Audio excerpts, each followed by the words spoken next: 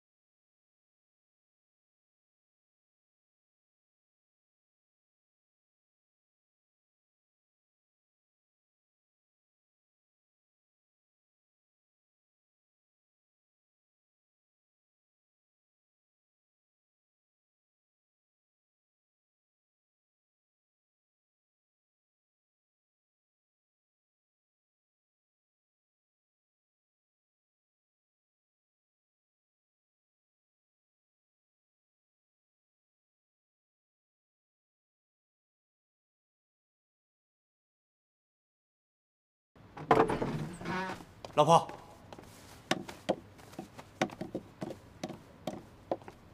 老婆，孩子还没找到。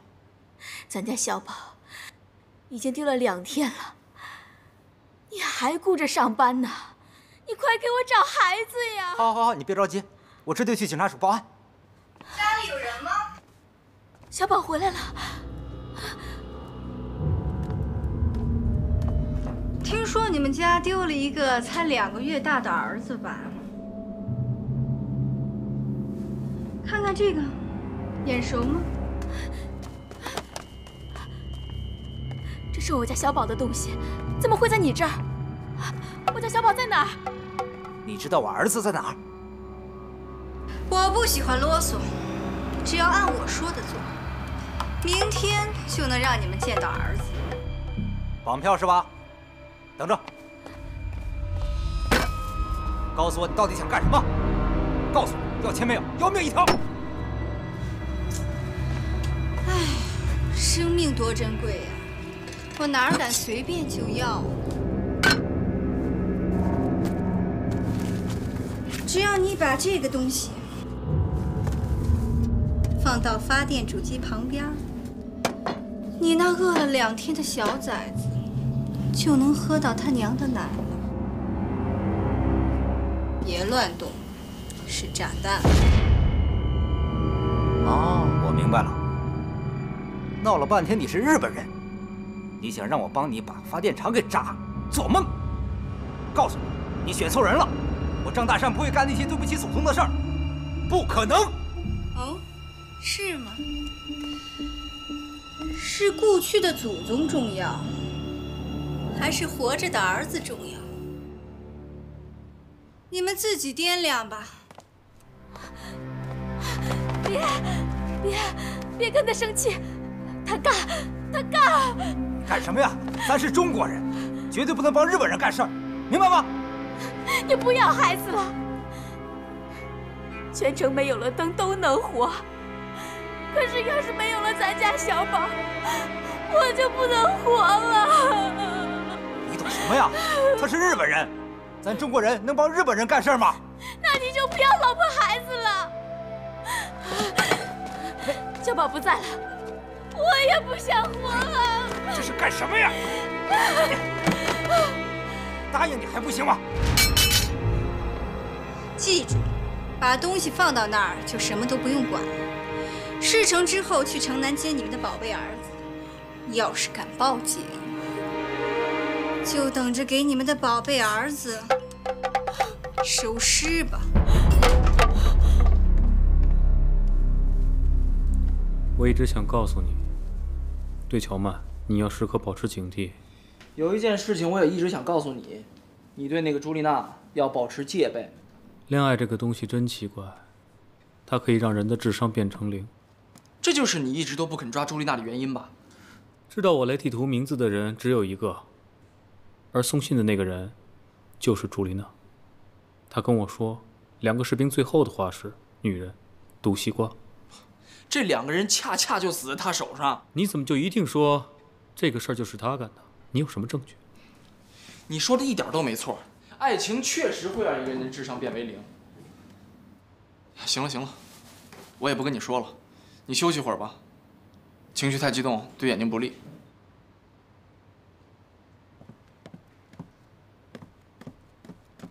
哥，你的眼睛好些了吗？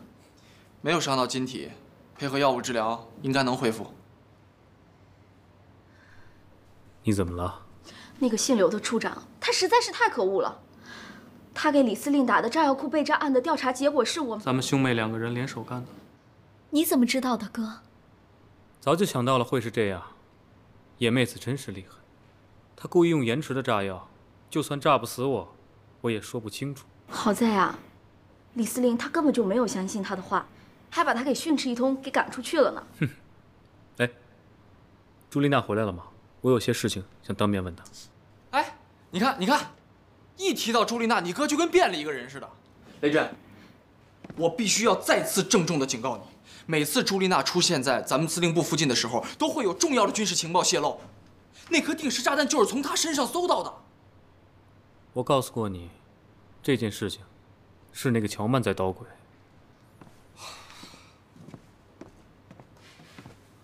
你太刚愎自用了。是你自己吧？不是已经把画像给重庆那边送过去了吗？已经等不及重庆那边的消息了。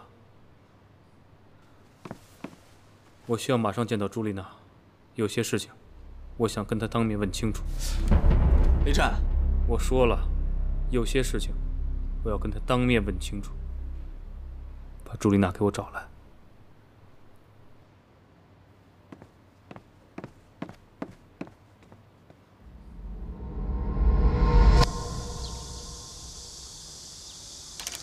郑姐，检查一下。好的，抬起来，抬起来。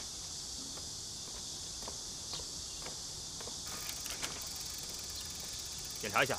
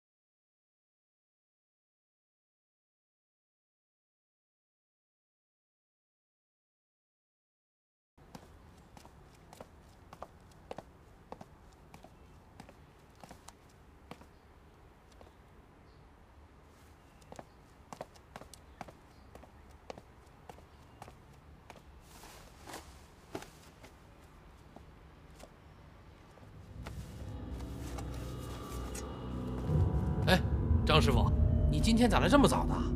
你是你们班第一个，离交班还有半个小时呢。张师傅，你先歇会儿。哎，夜班怎么样？呃，夜班啊，一切都正常的，正常。哎呀，我这肚子有点疼，你先忙着，我去趟厕所。啊，大清早的拉肚子。哎呦。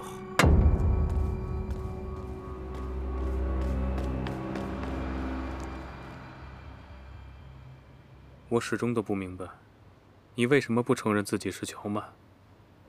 长官，我是军需处女兵，我叫朱丽娜，是乔曼同志动员我来到前线参加抗战的。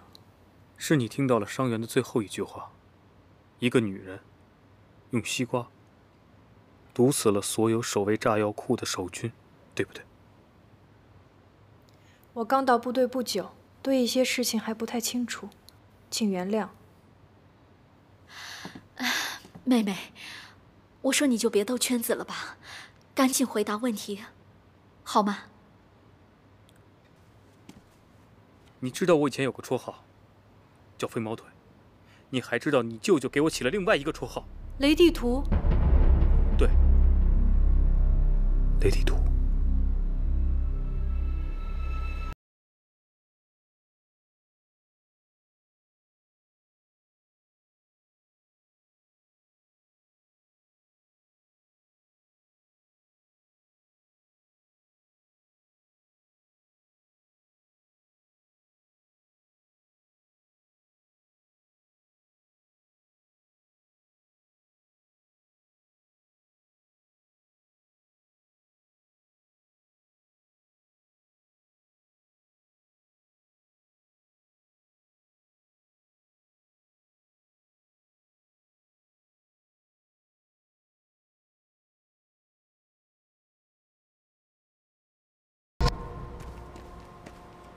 走，哎，小四，你们班组的人都这么积极啊？都来那么早啊？怎么，还有比我早的？张师傅比你早到的？不可能，每次我都第一个。你看你这人，你不信的话，你瞧，饭盒都在桌子上放着呢。嘿，这张师傅都带什么好吃的了？哎哎哎哎，小四，你可别动人家张师傅的午饭啊！你又不是不知道，张师傅是最小气的一个人了。嗨。我又没偷吃，我就看看。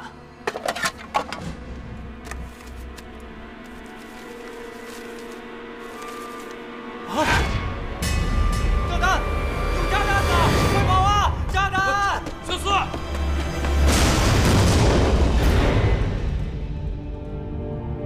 梅耶子动手了！他奶奶的！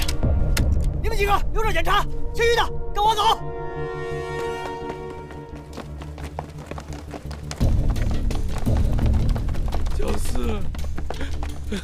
怎么回事？小四，小四被炸弹炸死了。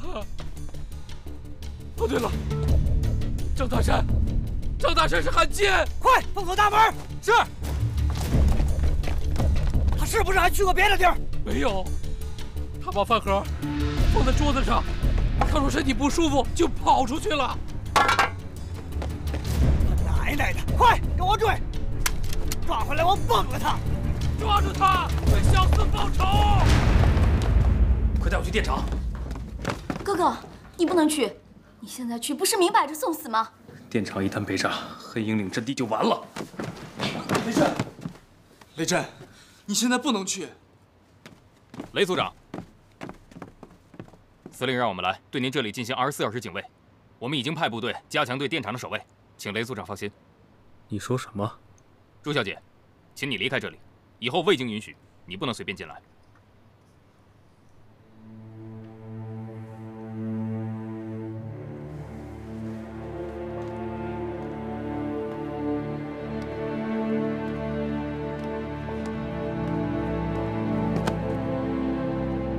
你的眼睛不方便，请执行司令的命令。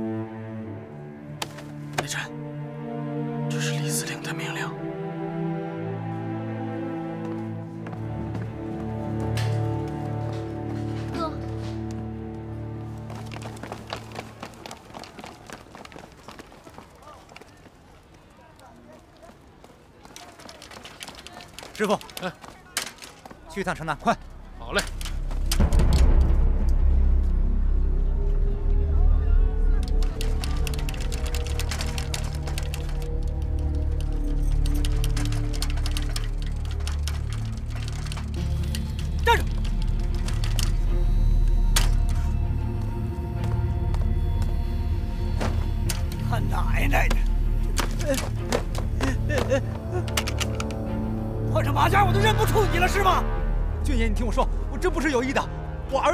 们手里呢。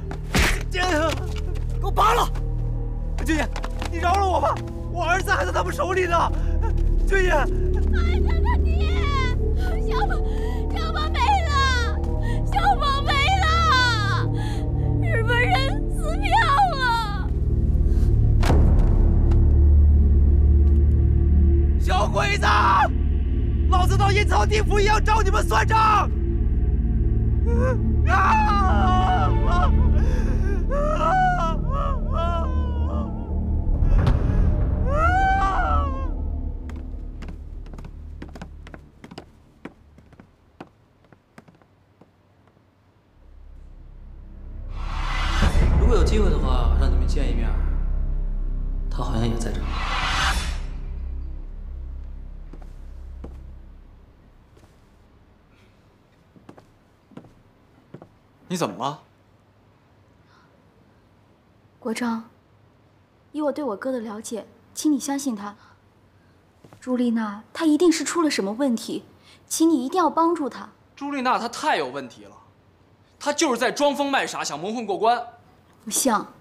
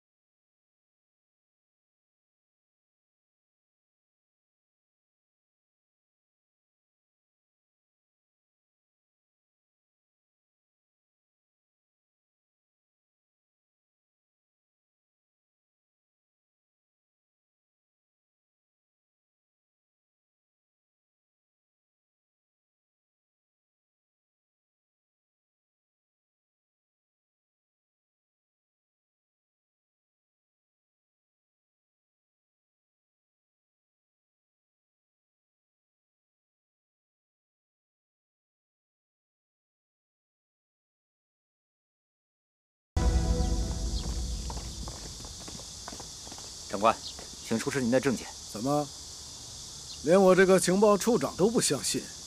对不起，长官，任何人进入都得接受严格检查，即使是执行紧急军务。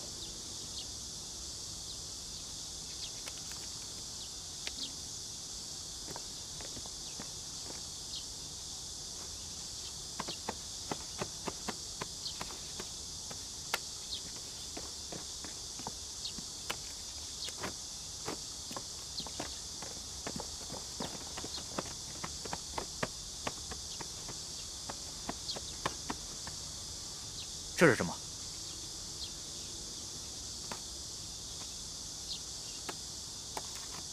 经常熬夜胃不好，所以苏打饼干我就经常带着。要不要尝尝？嗯。嗯。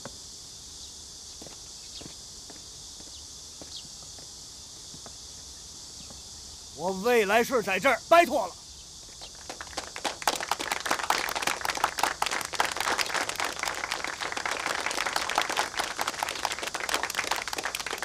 好，今天就讲到这儿，拜托大家了，散会。日本间谍真可就没人性，四个四个真冤呐！不是，他是好样的。哟，大妹子，怎么的？共干？我是来看你的，这儿没什么损失吧？有嘛损失？有你魏哥我在，保证万无一失。你就吹吧你！刚才我都听到那个爆炸声了，已经惊动司令了。所以他让我们来调查一下。小状况搞定了。那，嗯，还挺好吃的。以前我以为你只是一个会吃东西的猪八戒。谁猪八戒了？刚才我听到爆炸声，我都担心死了。但是现在我看到你没事儿，我就放心了。嗨，没事儿。你敢说嘛，曼曼？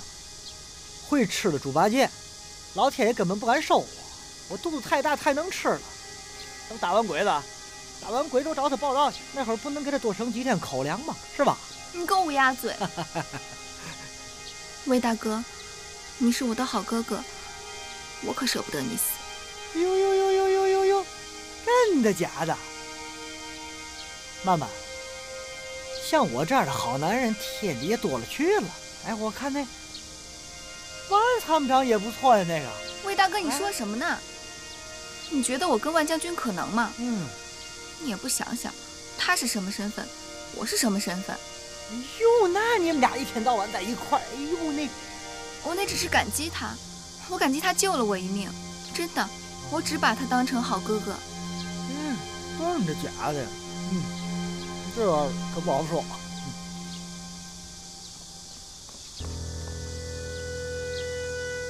哎呀，我的眼睛好像进东西了。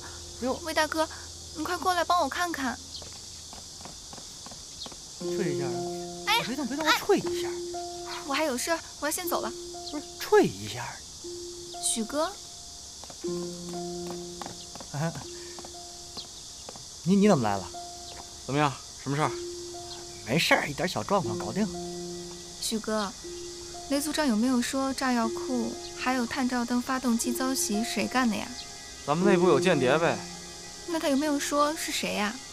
我们正在调查这件事儿。乔曼，我说你们那个刘处长简直蠢到家了，他居然说这事儿跟雷震有关系。这孙子，这不正儿说瞎话吗？许哥，许哥，你们头的妹妹是个共党，而你是个医生，你可千万不能卷入这场无聊的党派纷争中。答应我好吗？有一个小伙二十七，他妈领着他就去相亲，这门亲事也算门当。老，许你进来了不敲门呢？大白天你做什么美梦呢？谁做美梦呢？哎，你别瞎看啊，我们这东西都有用的。哎，老许，你来正好，我正有事儿跟你商量商量。有一个小伙二十七，哎，你帮我分析分析啊。哎，你说我是娶 Miss 乔呢，还是娶 Miss 黄呢？这俩都不错。你你说我这，哎呦，你帮我分析分析，来分析分析。来顺，我说你才刚刚立了那么一点小功，你怎么就嘚瑟上了？我没嘚瑟呀。像你这样的，哪个良家姑娘愿意跟你一罐头过日子？哎，你怎么说话呢？哪壶不开提哪壶呢？谁罐头谁罐头。打人不打脸，揭人不揭短，那不过去的事儿了。我现在好歹也算是一个啊正规的国军军官。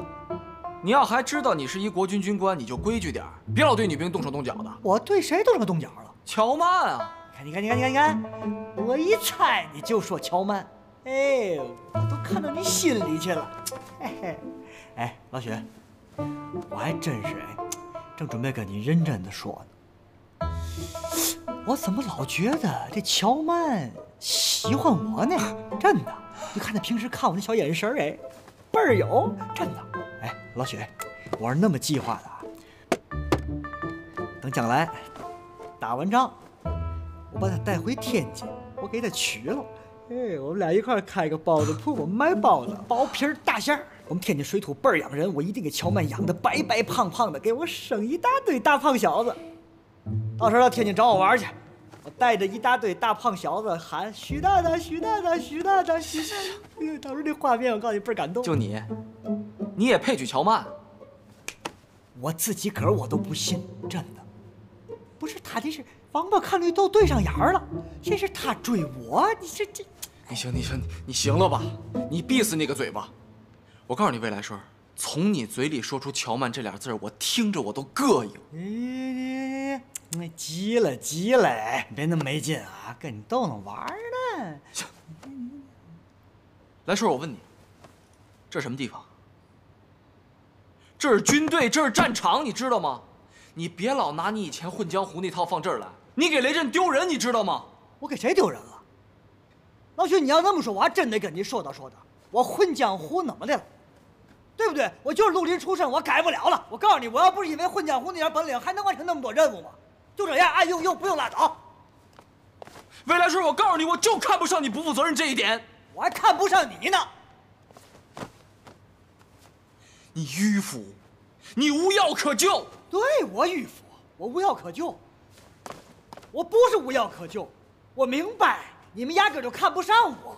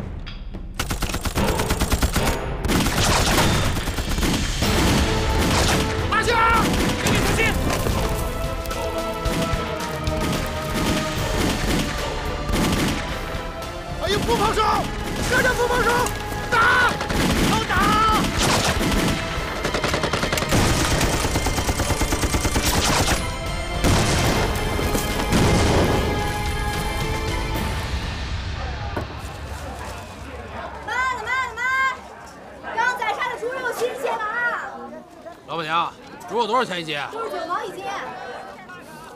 你这肉也不肥呀、八毛钱就行了。都是老主顾了，给您算八毛二吧。我买多点再便宜点行不行？您过来看，这块儿肥瘦相间的，哎，给您算八毛二。嗯，这块还可以，这个可以。东西就放在这块猪后大腿里，你只管把肉带进去，到时候自会有人去取。明白。那就这块吧。哎，好嘞。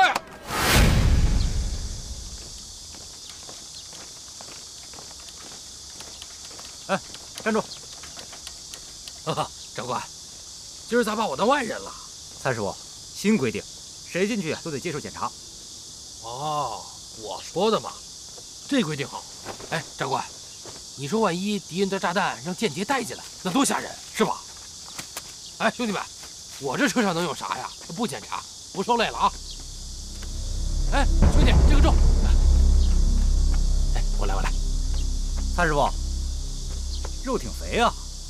这个啊，啊，这是国军长官专门拨款犒劳弟兄们的，叫咱好好把守电厂，可不敢叫日本人给炸了。你这个臭嘴啊！我走了啊，啊，进去了，走了，长官。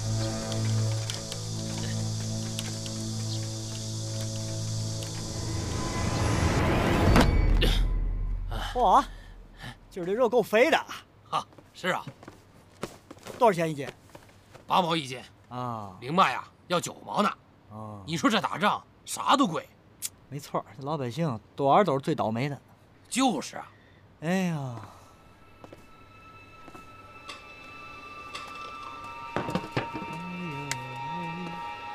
嚯，烫啊！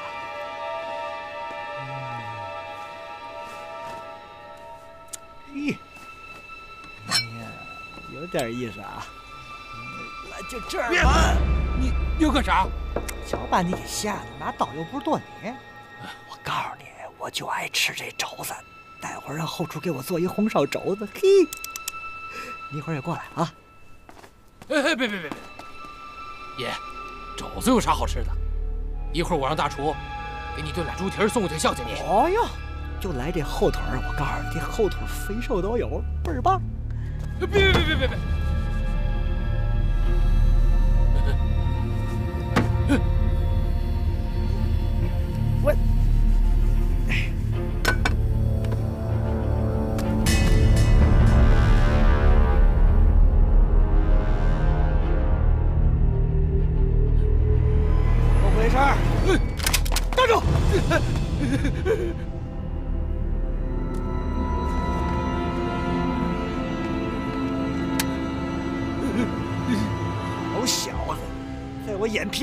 皮子底下耍花枪！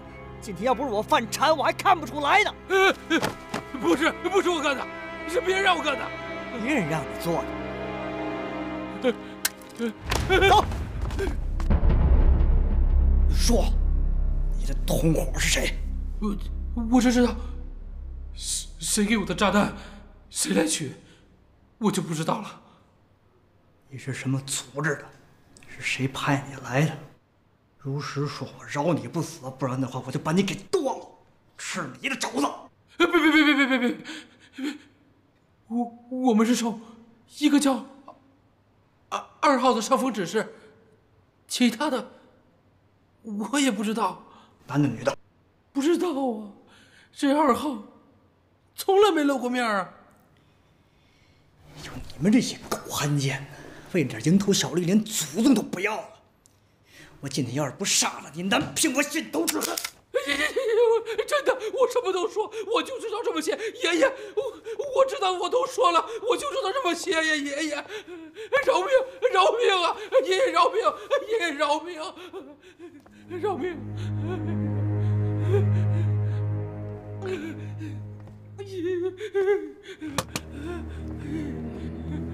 看着我，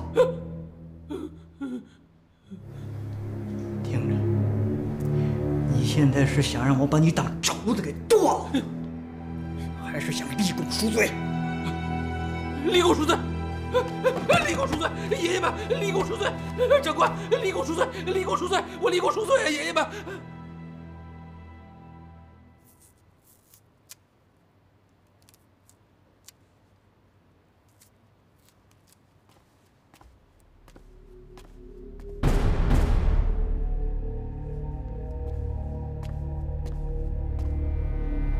是来拿肉的吗？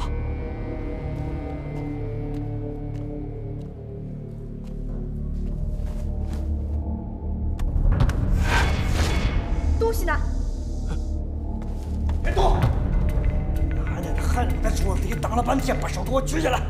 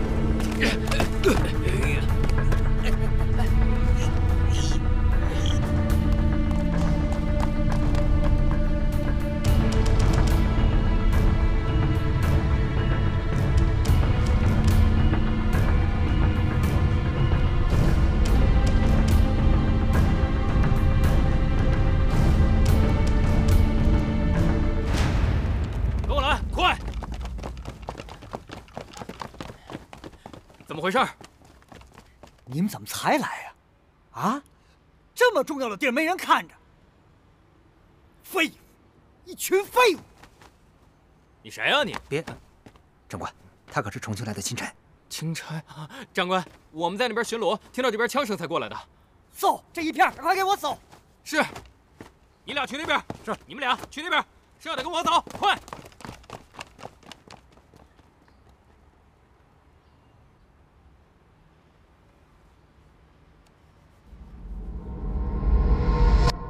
用不着愁眉苦脸的，你面对的不是一般的人，每一个虎穴死队队员，都是身经百战的职业杀手。那也不应该。头儿，反正现在厂里的奸细全让咱给抓住，那咱下一步怎么办呢？接下来，警署已经组织了临时巡逻队，你只需要好好组织他们，保护好电厂就行了。放心吧，头儿，他就是只鸟飞下来，我也得把他抓下来，检查是公还是母。想在我未来市眼皮子底下蒙过去的人，他还没出生呢。你呀，别把牛皮吹破了。我已经在李司令那边给你请功了，李司令夸你，说干得不错。是啊，谢谢谢头儿。等到时候军功章往胸口一戴，你就等着给家里光宗耀祖吧。哎呀，头儿，我不知道怎么感谢你好了。这头儿，你说人李司令啊，那么瞧得起咱，可可咱自己弟兄里头啊，狗眼看人低。哼直说，老许说你什么了？那天我就跟他开玩笑，我说等打完仗，我把乔曼娶过来，哎，帮我一块生孩子。他跟我急了，你知道吗？你当时都没看见他当时那样。头里咱俩说，咱干嘛来了？咱这不玩命来了，对吧？虽然我的眼睛现在看不见，但是我能感觉到，国长，你的心已经不在侦办组了。我记得你说的那句话：“我们的职业不允许我们过分相信任何一个人。”我也希望你能牢牢记住这句话。在乔曼和朱丽娜的问题上，我们有着严重的分歧，不，是致命的分歧。我相信我的直觉，而且我的直觉从来没有错过。我是医生，我不相信直觉。在战争年代。你的眼睛所看到的一切，都有可能超出常规。未来顺从朱丽娜身上搜出了一颗定时炸弹，这种直接性的证据远远超出你所谓的直觉。在这种危急的情况下，我请求你立刻逮捕朱丽娜。沉默就是默许了。我以侦办组的名义，马上通知。站住！许国璋。你是一名军人，军人的天职就是服从。你现在必须服从，且唯一只能服从于我的指挥。雷震，你还记得吗？那天事情发生的时候，我们都在现场。我亲手把乔曼从万成风的身边拉开，而朱莉呢，她远远地躲在一旁，根本就没有想要过靠近万成风的迹象。我问你，这怎么做一个刺客？而乔曼，他神色慌张地走向马路的正中央。程峰，你一定要回来！